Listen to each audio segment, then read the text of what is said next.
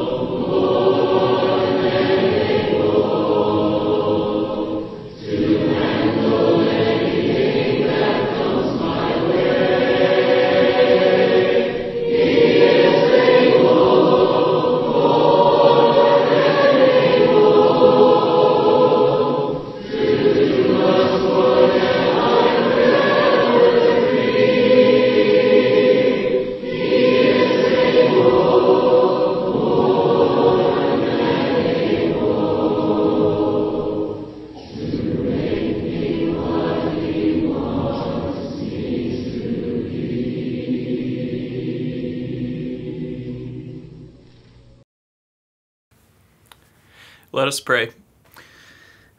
Our Father in heaven, we praise your holy name.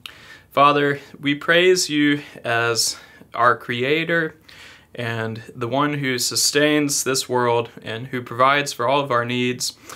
And Father, in a world of turmoil, you and Jesus are a God and Prince of peace.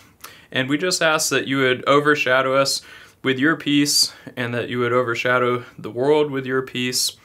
Father, we know that so many people right now have been suffering due to uh, the coronavirus, and many people are anxious about it or anxious about family members or friends who are sick at this time. And we just ask that you would give your peace and comfort to them, and that if it be your will, that you would help this disease to go away um, so that people can return to somewhat normal lives. Um, and we ask that you would be with all those of all sorts of who are suffering with all sorts of different illnesses and diseases and sicknesses. And we know that this life is fleeting and that um, not everyone will be healed from their physical affliction, but we know that you can give physical healing, and so we still pray to you um, for that, for people. But help um, everyone in the world to turn to you even more than their physical healing, to turn to you for their spiritual healing, because we know that you are the only one who can heal our sin, who can heal our spiritual diseases.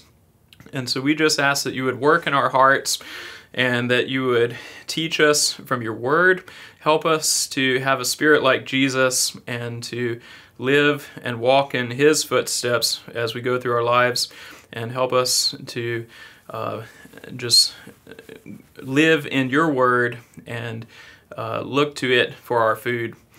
And Father, we also ask for peace um, with all of the um, protests here recently. We just we know that you are a God who loves justice, and we ask that justice would be um, carried out, and that there would also be spirits of compassion, uh, that there would be a spirit of respect, and just that you would be um, honored as our ultimate authority, and that both your sense of justice would be carried out by our government, and also that our government would be respected when it is due respect, and also just that uh, peace in general would prevail because we know that uh, you are a God who loves peace, and uh, that serving you is not a matter of disorder, but that when you come into our lives and when your influence and the gospel's influence comes into the world, that it brings about peace and um, ordered lives. So we just beg that you would be with all of those um, who are hurting for a variety of reasons at this time. And we ask that um, you would be glorified through all of these things and we know that you are in control and that you can use all of these events that are going on in the world right now to um, work to your glory and to turn men's hearts to you. And we ask also that you would be with the church and strengthen us all as um, this has been an unusual time here recently with not meeting together as regularly as or in the same way that we normally do. And we thank you so much that we can meet together um, for at least uh, one service on Sunday, and we thank you for um, the efforts of all those who have continued to um, give us messages from your word online, and we just ask that you have been glorified through this and that the church has actually grown stronger in faith through this because we know that um, your spirit working in our lives can transcend any sort of uh, situation we have to deal with. And we just ask that you would strengthen our faiths and help us to continually draw closer to you. Father, help us to worship you each day of our lives, and please uh, open our hearts today, particularly as we remember Jesus and as we uh, study your word and worship you through song. We praise you, Father, and we look to you for our peace. It's through Jesus' name that we pray. Amen.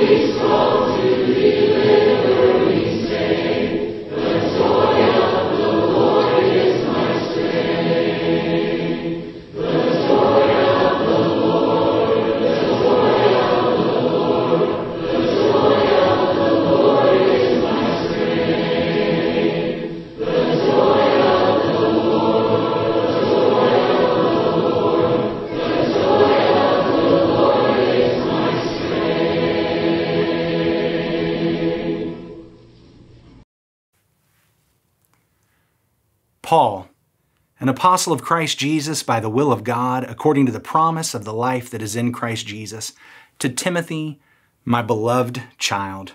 Grace, mercy, and peace from God the Father and Christ Jesus our Lord. There's a lot of irony in this first sentence of Paul's last letter. As we read this, we are actually getting to eavesdrop on what, for all intents and purposes, is one of the most personal letters, a personal correspondence, personal conversations that Paul had in his entire life. We're essentially getting to listen in on the words of a dying father as he speaks to his firstborn child and passes on to him the generational legacy, calling him to, to take on his mantle and his mission and his life's work. But the irony Paul had no children. He is a childless father. Even more, he is writing to a fatherless child. Of course, those who have studied their Bibles for some time are aware that I don't mean that in a literal sense. In Acts chapter 16 and verse 1, we learn that Timothy had a Jewish mother and a Greek father. But on a spiritual basis, Timothy's father was an absentee father. Here in 2 Timothy chapter 1 and verse 5, Paul talks about the generational legacy that Timothy had, but the father's not included. I am reminded of your sincere faith, Paul says to Timothy, a faith that dwelt first in your grandmother Lois and your mother Eunice, and now I am sure dwells in you as well. The father wasn't in the picture. And yet, what we find is this childless father takes the fatherless child under his wing, teaches him, trains him, sets him up for work, and sets him loose on a commission to, to go forth and do the work of God. And yet, he's dying. And he has no child of his own, no biological child to, to pass his inheritance along to, to, to give the mantle to, to lift up in the family generational occupation. And so he reaches out to this fatherless child. Timothy, whose father apparently had no spiritual wisdom to pass along to him, who, who left him with no mission, left him with no commission, no words of wisdom as he parted. But he found a father figure in Paul. But now that father figure is dying, is leaving him. And what's Timothy to do? How is he to be able to walk in the footsteps, to, to put on the shoes, to carry the mantle of this father figure, Paul? And why would Paul even want Timothy to be the one to do that? As we read 2 Timothy chapter 1 verses 1 through 7, we are walking on sacred ground. Certainly it's sacred because it's scripture. But not only that, it's sacred because God has allowed us a glimpse into this most private and intimate of moments of a father talking to his child. This most personal conversation. And we get a glimpse of it. And as we do, we see the advice of a childless father to a fatherless child and within it, we actually find the advice that every father needs to pass on to his sons and daughters. And we learn the two ingredients of courage and victory for Christians like us.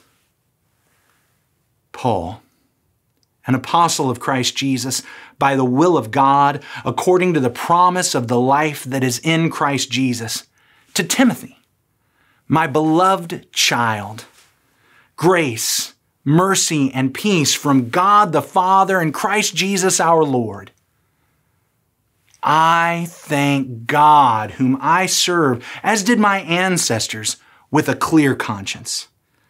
As I remember you constantly in my prayers, night and day, as I remember your tears, I long to see you that I may be filled with joy. I'm reminded of your sincere faith, a faith that dwelt first in your mother Lois, excuse me, your grandmother Lois, and your mother Eunice, and now I am sure dwells in you as well. For this reason, I remind you to fan into flame the gift of God which is in you through the laying on of my hands. For God gave us a spirit not of fear, but of power and love and self control. We've got two questions that I think we need to ask about this text. And as we answer them, we'll discover not only the advice that every father, every parent, should pass on to their children, the, the, the, advice that, that every child, son or daughter, needs to hear, but we'll learn the two ingredients of courage and victory. The first question why did Paul need to write this to Timothy? Why did Paul need to say this to Timothy? Apparently, Paul has, for the second time, been arrested and imprisoned in Rome. He's been through that before and he has been delivered, and yet this time he is certain that he is not going to escape. In 2 Timothy chapter 4 and verse 6, he says, For I am already being poured out as a drink offering, and the time of my departure has come. Put yourself in Paul's shoes. What do you need right now? What do you most need right now? You, you've worked hard, you've kept the faith, you've fought the good fight, and now your time is done.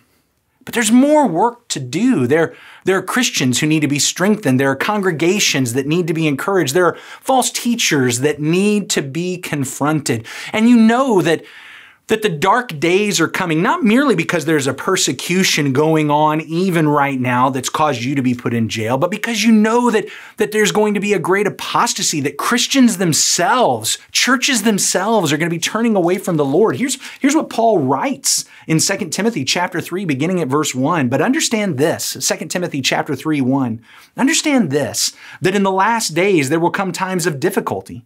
For people will be lovers of self, lovers of money, proud, arrogant, abusive, disobedient to their parents, ungrateful, unholy, heartless, unappeasable, slanderous, without self control, brutal, not loving good, treacherous, reckless, swollen with conceit, lovers of pleasure rather than lovers of God, having the appearance of godliness but denying its power.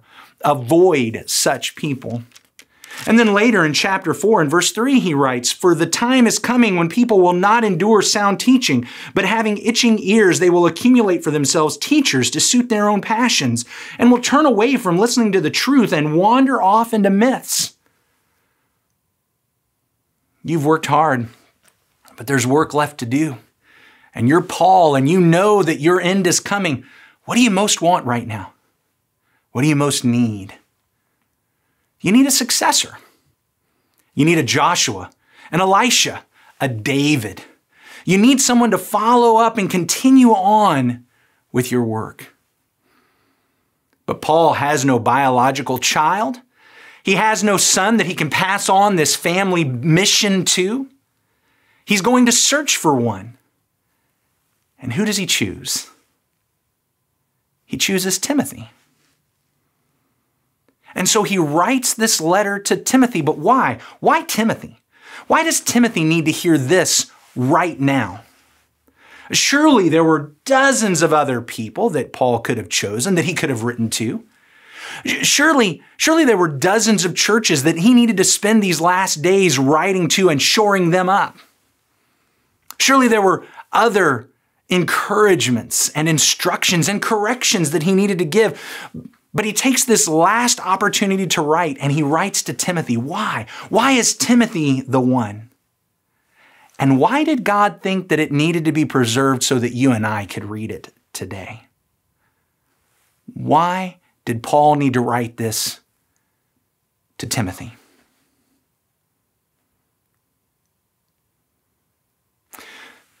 Before we answer the question why Paul chose Timothy, I want to back up a little bit. I want us to remember why Jesus chose Paul. Back in 1 Timothy chapter 1, as Paul wrote his first letter to his protege, he explains Jesus' choice of himself, Paul. And in 1 Timothy chapter 1 and verse 12, he says, I thank him who has given me strength, Christ Jesus our Lord, because he judged me faithful, appointing me to his service. Though formerly I was a blasphemer, persecutor, and insolent opponent, but I received mercy because I had acted ignorantly in unbelief.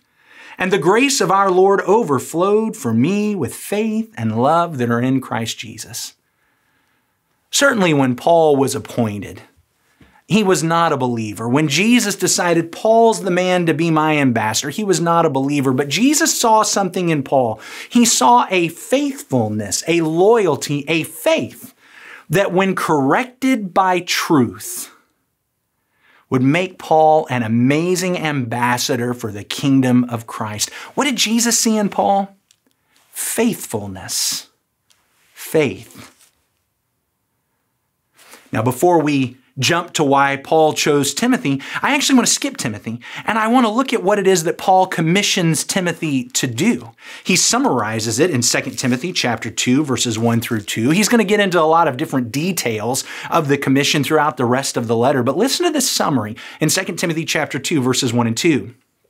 You then, my child, be strengthened by the grace that is in Christ Jesus. And what you have heard from me in the presence of many witnesses, entrust to faithful men who will be able to teach others also. Are you seeing what's happening here?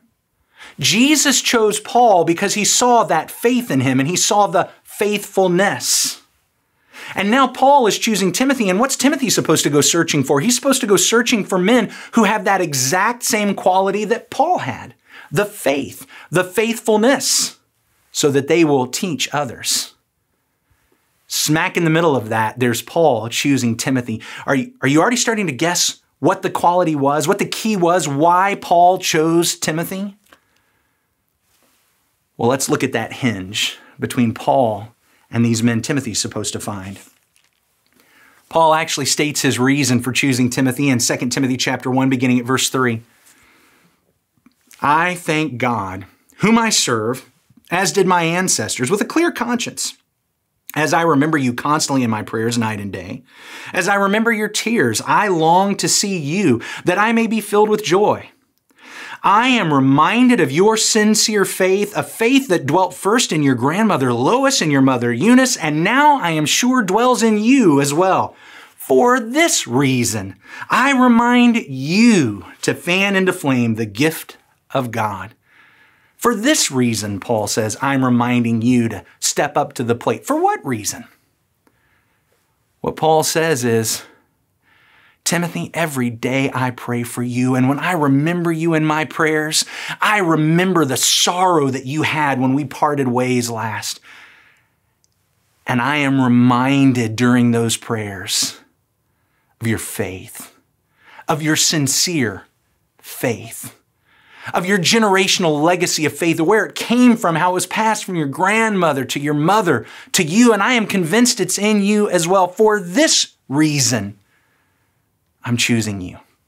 For what reason? Because Paul saw in Timothy exactly what Jesus saw in Paul. Because Paul saw in Timothy exactly what he wanted Timothy to look for in others faith. I think it's regrettable that most of the commentators today Focus on some of the potential definitions for some of the words in these first paragraphs and create a picture in their mind of Timothy that I simply believe cannot be the case. You can read the commentaries yourself. Most of them will say things like, well, look, Paul says that he has to remind Timothy. Clearly, Timothy must not have been all that disciplined, and he needed a constant prodding and reminding to go do the work. Not only that, but this phrase that the English Standard Version translates fan into flame could also be translated to rekindle or reignite. And so Obviously, Timothy must be a person whose service and devotion has flagged. He's, he's started to slip. He says in verse 7 God has not given us a spirit of fear. And so it must be that Timothy was a timid and shy and, and even cowardly person. And then in verse 8, he's going to go on to say, Therefore, do not be ashamed of the testimony of our Lord. And so Timothy must have been given to bouts of shame and not always standing firm and convicted. And they almost present this picture of this weak, wishy washy, flaky, undisciplined, all but untrustworthy worker. I just don't think that that's the case for Timothy. Think about this. In Deuteronomy chapter 31, and multiple times, when Moses was commissioning Joshua, he told him over and over again be strong and courageous. Don't fear and be dismayed. Was that because Joshua was a coward? Well, of course not. It's because Joshua was about to embark on a fearful mission. And even the brave, when they're embarking on a fearful mission, need to be reminded be strong, be courageous. You don't need to be afraid. Or think about Peter's own swan song, the last letter that he wrote. He wrote one that was not to an individual, but to a general group. And in 2 Peter chapter 1 and verse 12, listen to what he says. Therefore, I intend always to remind you of these qualities though you know them and are established in the truth that you have. Peter says they knew these things and they were established in them, and yet what was he going to do? He was going to remind them. Why? Because even the faithful need to be reminded. We're dealing with such important things that even those who are established in them need to be reminded. I think it's a mistake to look at all of these words and assume this very negative picture of Timothy. And I think this negative picture, focusing on these word definitions, fails to take into account the situational context of Paul, who had been chosen by Jesus because of faith and faithfulness, and the commission that he's going to give to Timothy to find other men who are filled with faith, filled with faithfulness. And seeing Timothy is right there standing in the gap between them. Why? Because he has that key faith. Now, it could be that I'm wrong. Maybe the commentators are right. Maybe, maybe Timothy was coward. Maybe Timothy was undisciplined. Maybe he was afraid. Maybe he was flaky and wishy washy and often ashamed. If I'm wrong about this, though, that just highlights this key all the more. It brings it into stark contrast because what it points out is that Paul saw in Timothy, even if he saw all of these other weaknesses, he saw in Timothy the one strength that trumped them all. He saw the one strength that he knew Timothy has this, and for everything else that's going against him, this one thing will make it okay. Will help him overcome. And what was that one thing? Faith. Faithfulness. And do you see the way Paul frames this? He says in verse 3 I thank God whom I serve, as did my ancestors, with a clear conscience. He presents his service to the Lord as this generational, excuse me, generational legacy that's been passed down from father to son to grandson and on and on and on. But now he has no child to pass it along to. But there's Timothy who has no father to pass along this legacy to him. Yet, he did have a generational legacy. It passed from grandmother to mother to Timothy. by the way, this demonstrates that what we're talking about here is not just a legacy to pass from father to sons and daughters, but from mother to children as well.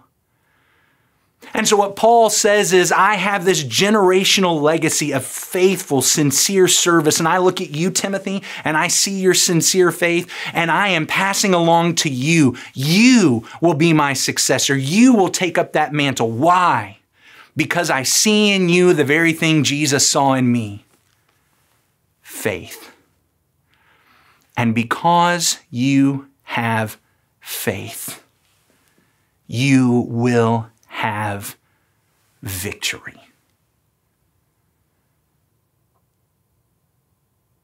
Sons and daughters, I don't know what advice your fathers have been giving you. And fathers, I don't know what, what advice you've been giving your sons and daughters, what message you've been passing along to them. Timothy was being commissioned for one of the toughest missions ever a fearful mission. And Paul, the childless father, speaks to Timothy, the fatherless child. And he passes on this advice the advice that, that every father should pass on to their children, that every child should hear from his or her father or mother. Or maybe you're like Timothy and you're a fatherless child. Paul wasn't Timothy's father. But he passed this message on to him as every father should, and he's passing this message on to you. Faith is the victory. Your faith is the first ingredient of courage. Your faith is the first ingredient of victory. Not faith in yourself, faith in God. Which actually leads us to our second question. We've asked from this text, why did Paul need to say this to Timothy? Let's ask this question now. Why did Timothy need to hear this from Paul? Why did Timothy need to hear this from Paul? Why did he need to hear it right now? We've put ourselves in Paul's shoes. Let's, let's put ourselves in Timothy's shoes right now. I mean, I've been trained up in faith. I learned faith from my mother and my grandmother. I actually got to start to be trained by the greatest teacher in Christ's kingdom. I, I followed him around. I learned all that he had to teach. He's, he's already sent me off on missions. I've worked with the church in Ephesus. I've done so much. I've been trained. I've been prepared. I've got a sincere faith. Honestly, most of what he tells me in the second letter, he told me in the first letter. So why do I need to hear this? And why do I need to hear it right now. Let's think about where Timothy is. He's the fatherless child, the absentee father who, who though he was present, seems in a material and physical sense, was not present in a spiritual sense. He had no words of wisdom to part with. He left him no mission, no legacy, no commission. And yet, he found this father figure in Paul. But now Paul's dying. And what do I most need in this moment when my father figure is passing on?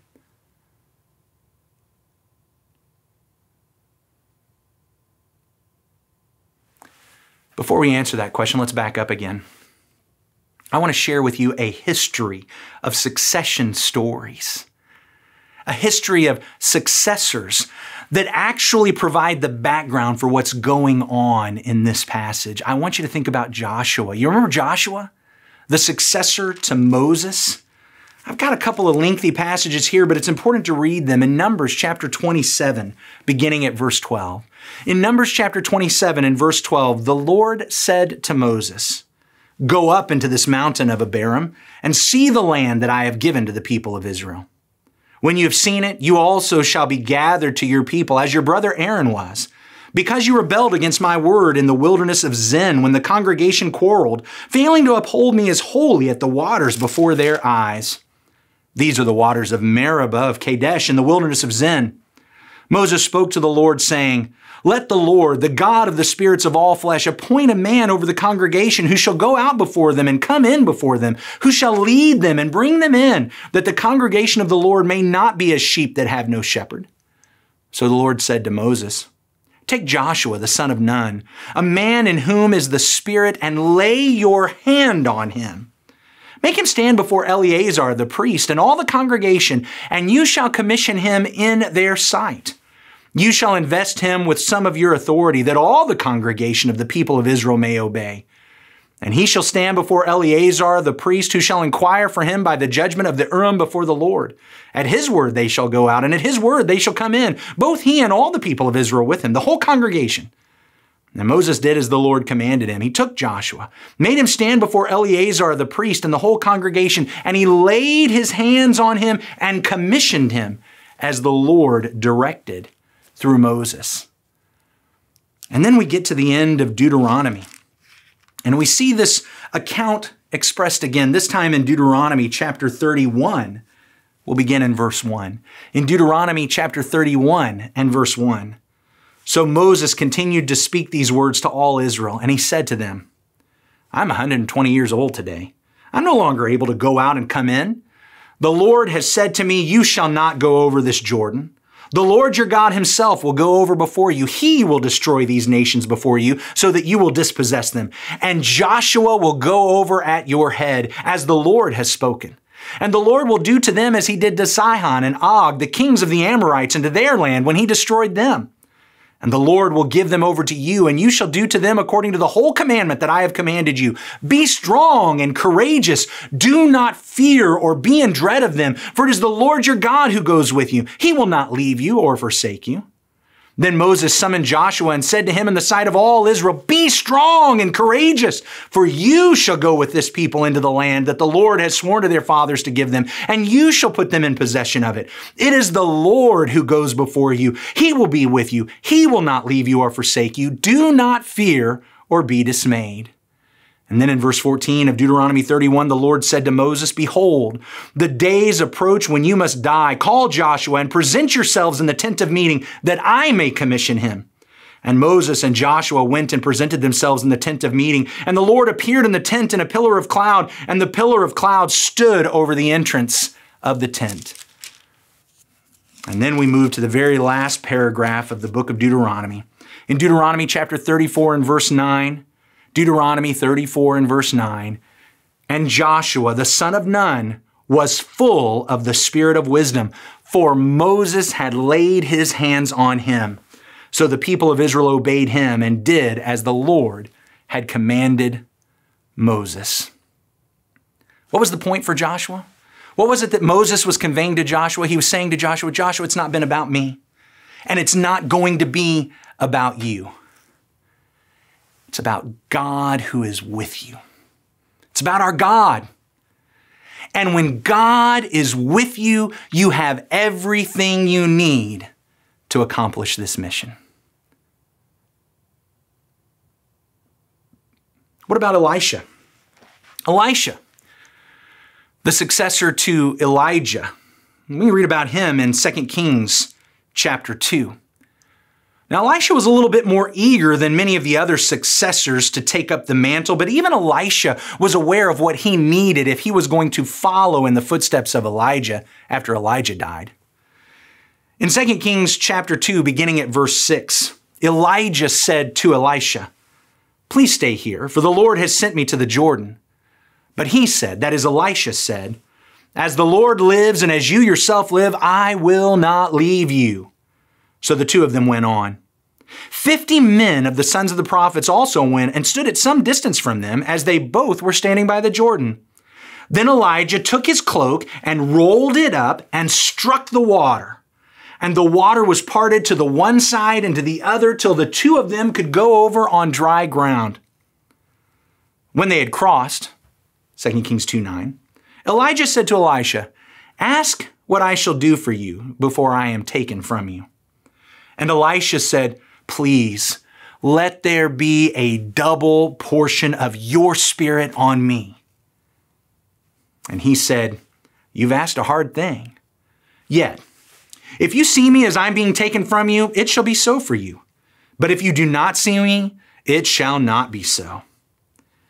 And as they still went on and talked, behold, chariots of fire and horses of fire separated the two of them. And Elijah went up by the whirlwind into heaven. And Elisha saw it, and he cried, My father, my father, the chariots of Israel and its horsemen. And he saw him no more. Then he took hold of his own clothes, and he tore them in two pieces. And he took up the cloak of Elijah that had fallen from him and went back and stood on the bank of the Jordan. Then he took the cloak of Elijah that had fallen from him and he struck the water, saying, Where is the Lord, the God of Elijah? And when he had struck the water, the water parted to the one side and to the other, and Elisha went over. Now, when the sons of the prophets who were at Jericho saw him opposite them, they said, The spirit of Elijah rests on Elisha. What was the message for Elisha? It's not about Elijah. It's not about Elisha. It's about God who was with them. And Elisha knew what he needed. He needed the God who was with Elijah. And the lesson for Elisha was simply this with God, you have all you need. With God, you are prepared for this mission. What about David? Now, this is a different succession story because King Saul had actually chosen a different successor. Saul did want his biological son to be the next king, but God had chosen the successor, and God's choice was David. And in 1 Samuel chapter 16, we see when God chose David and had David anointed. This is in 1 Samuel chapter 16, about halfway through verse 11. Samuel said to Jesse, Send and get him. Go get David, for we will not sit down till he comes here. And he sent and brought him in, that is David. Now he was ruddy and had beautiful eyes and was handsome. And the Lord said, Arise, anoint him, for this is he. Then Samuel took the horn of oil and anointed him in the midst of his brothers. And the Spirit of the Lord rushed upon David from that day forward. And Samuel rose up and went to Ramah. But now listen to the next verse about Saul. Now the Spirit of the Lord departed from Saul, and a harmful spirit from the Lord tormented him. And we hear the story about that harmful spirit and how David could play music for him and calm that spirit. But what's the message? What's the message for David? The message is very simply it wasn't about Saul. It's not about David. It's about God and His presence. It's about the Spirit of the Lord being with them. And when the Spirit of the Lord left Saul, what happened next? His behavior becomes erratic. He descends essentially into a kind of madness. And he doesn't have what he needs to accomplish the mission to be king. But what happens next for David? Have you ever noticed this? The Spirit rushes upon him in chapter 16. What happens in chapter 17? Goliath. Saul, hiding with fear in his tent, unable to go out and fight Goliath, but David, with the Spirit of the Lord, steps up and says, I'll do it. What's the message? It's not about Saul. It's not about you, David. It's about God. It's about God who is with you. And when God is with you, you have everything you need to accomplish this mission. Let's go back to Timothy. Why did Timothy need to hear what Paul had to say? And why did he need to hear it right now?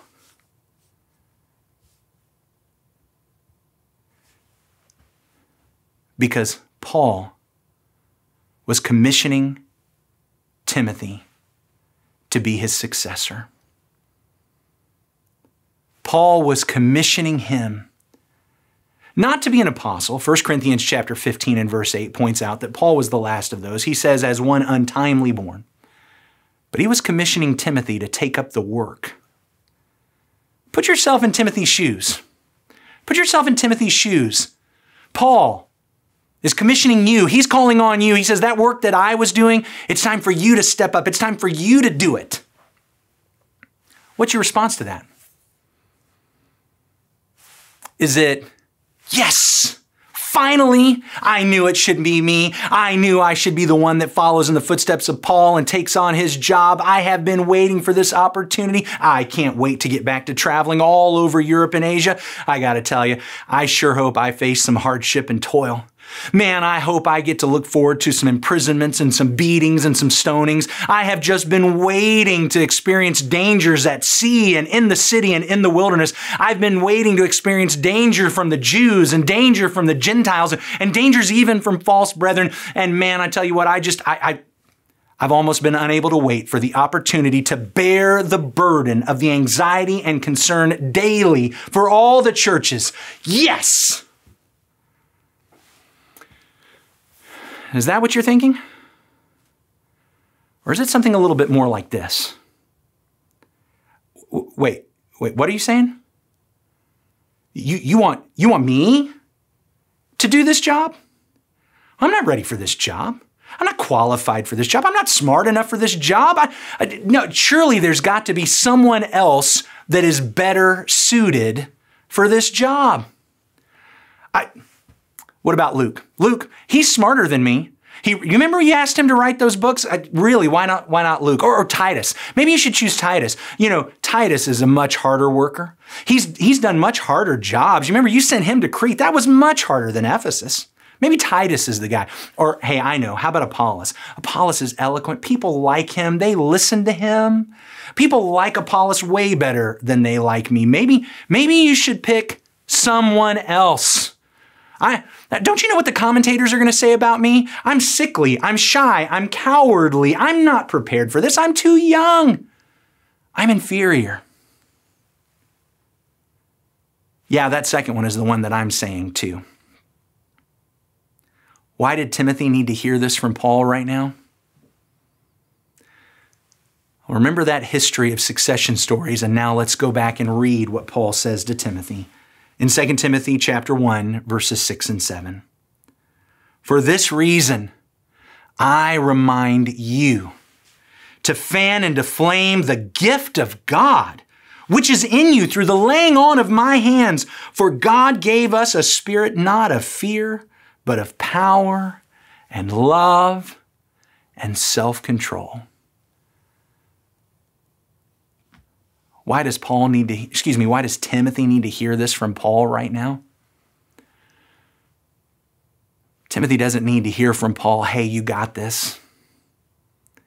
Timothy doesn't need to hear from Paul, no, no, really, you're good enough. You're qualified. You're the guy. Timothy needs to hear, your God is amazing. And Timothy, it hasn't been about me. It's been about God who is with me. And it's not going to be about you, Timothy. It's going to be about God who is with you.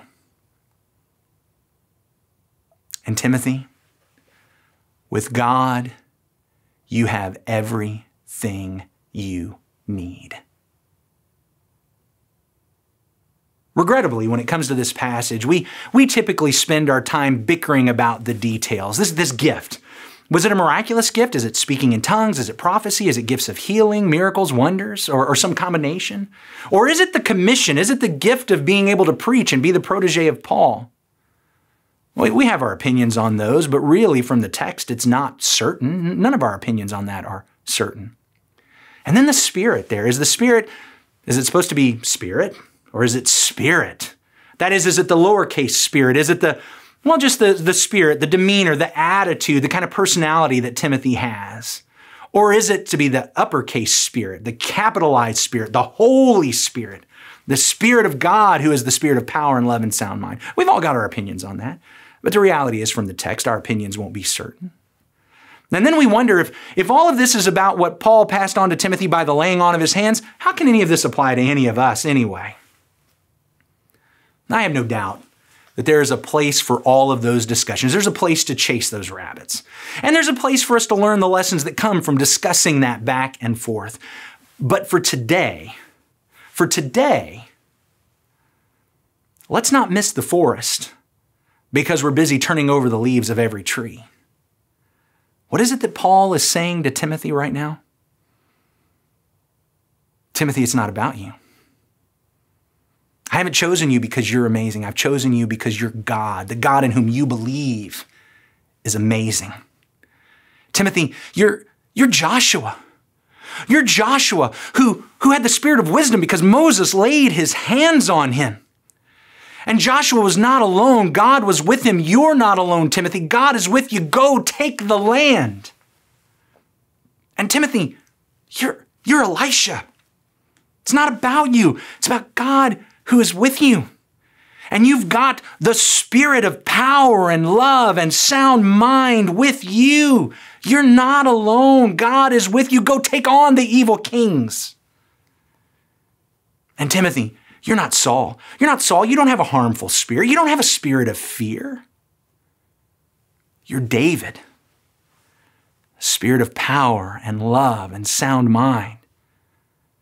You're not alone. God is with you. Go slay Goliath.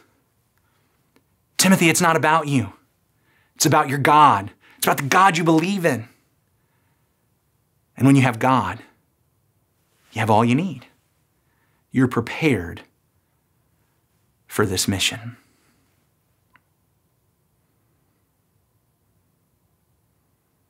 Fathers, I don't know what advice you've been giving your sons and daughters. And sons and daughters, I, I don't know what advice your fathers or your mothers have been giving you. Perhaps you're like Timothy and you're a fatherless child. But Paul is speaking, and he's not Timothy's father.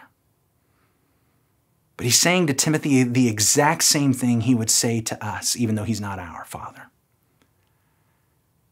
He's letting us know it's not about us. It wasn't about him. It wasn't about Timothy. It's not about us. It's about God who is with us. And I get it. Your, your gifts, my gifts are different than Timothy's. Your mission, your commission is different than Timothy's. But your God is the same as Timothy's. My God is the same as Timothy's. And when we have God, we have all we need. And we're prepared. And so we have no need to fear and no need to be ashamed. Because with God and faith in Him, we can be courageous and we will win the victory.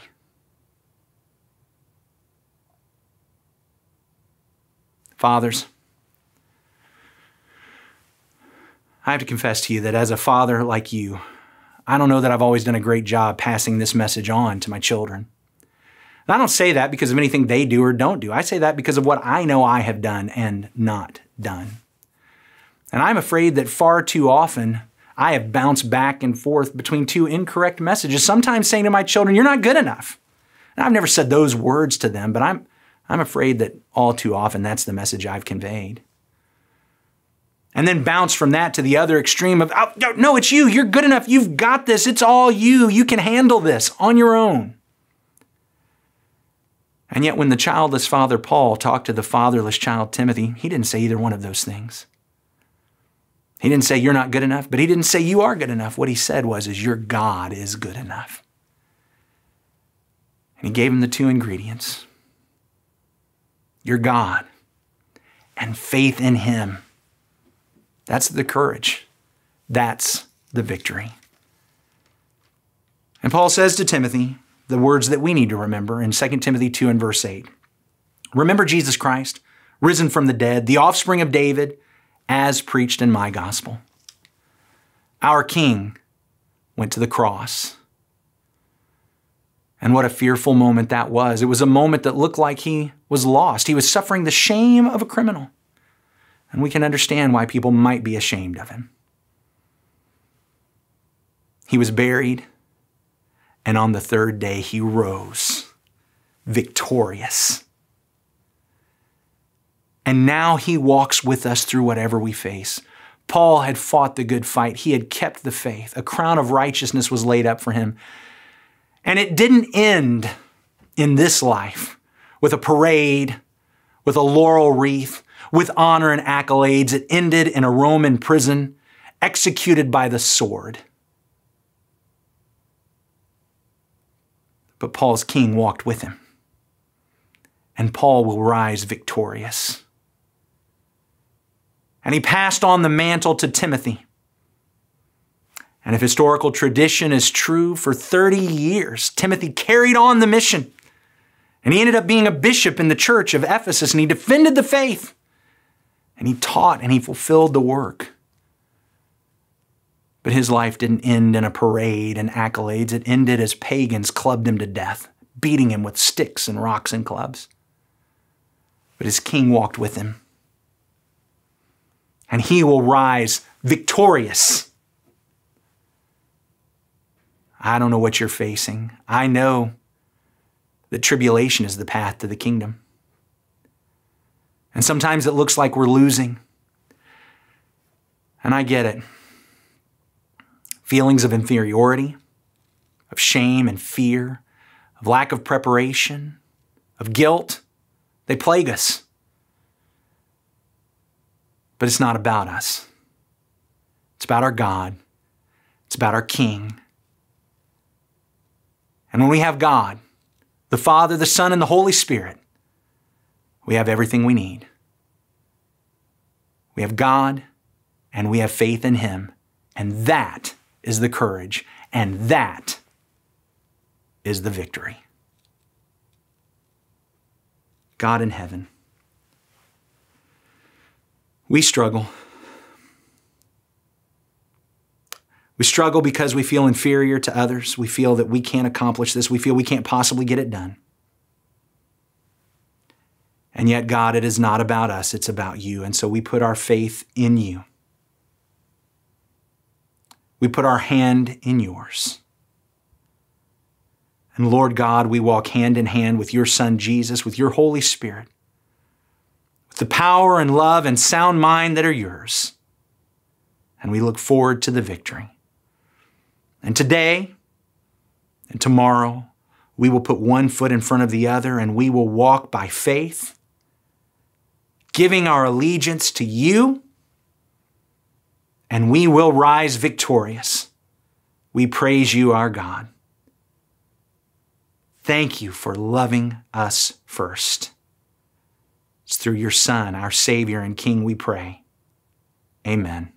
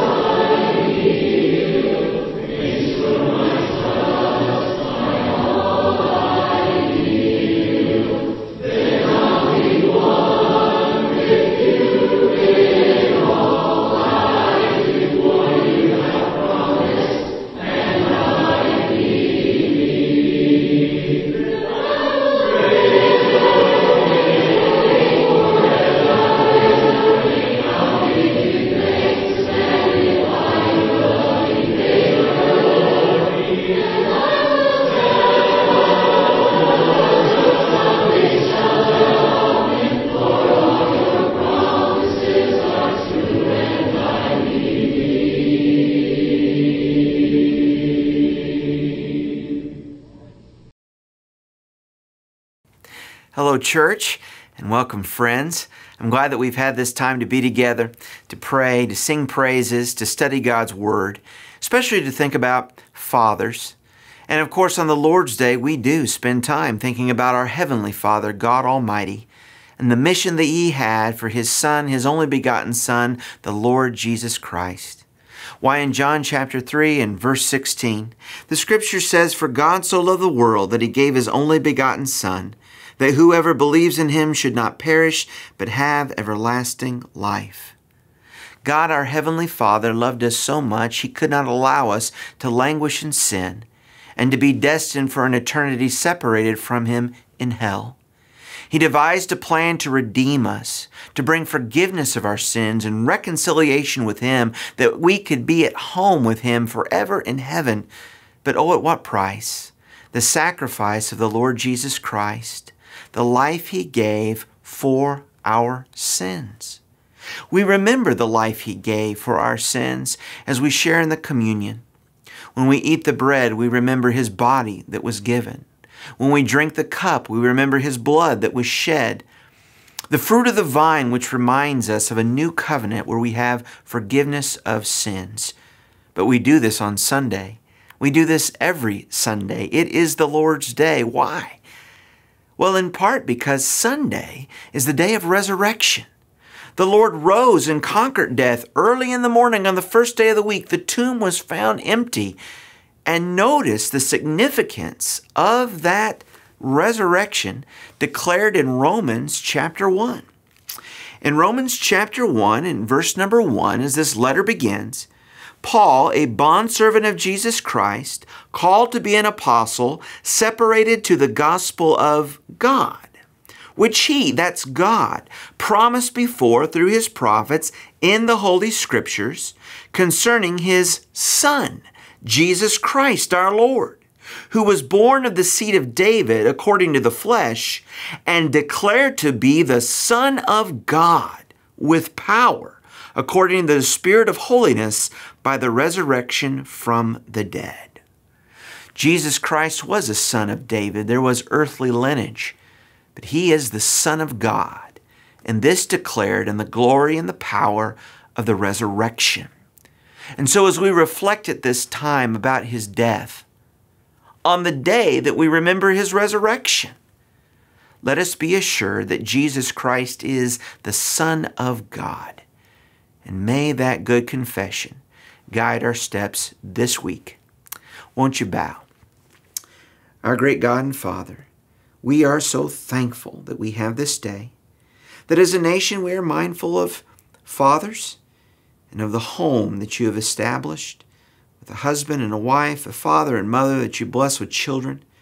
We pray in a special way that you might be with fathers today, that they might be mindful of their sons and daughters, the example they set, and, and the lessons that they teach. We know that we always have a good and right Heavenly Father, that we might come to you through the Lord Jesus Christ in prayer for the forgiveness of our sins by the gospel we pray, God, that you might bless us today and this week to lead lives and lead families that are about your glory. In Jesus' name we pray. Amen.